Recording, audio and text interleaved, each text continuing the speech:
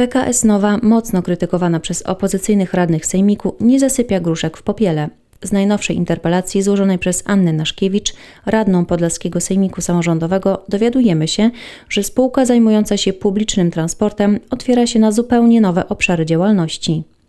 Wespół z Wosir Shelment przewoźnik założył nowy podmiot gospodarczy. To Podlaski Fundusz Ekosystem Dolina Rolnicza 4.0 spółka z ograniczoną odpowiedzialnością. Podmiot według danych zawartych w KRS ma parać się badaniami i analizami związanymi z jakością żywności, ale też wydawaniem książek, gazet, czasopism oraz dość szeroko pojętą działalnością związaną z zarządzaniem funduszami i rynkami finansowymi. Dolina Rolnicza 4.0 pierwotnie była projektem badawczym realizowanym na zlecenie Komisji Europejskiej. W 2019 roku o tym przedsięwzięciu w periodyku Zmieniamy Podlaskie pisano, że samorząd podlaski od miesięcy porusza temat utworzenia Doliny Rolniczej 4.0, która wzorowana na Dolinie Krzemowej, największym ekosystemie innowacji technologicznych w USA, miałaby stać się głównym ośrodkiem kompetencji dla rozwoju naszej specjalizacji nowoczesnego przemysłu rolno-spożywczego opartego na rodzimym know-how.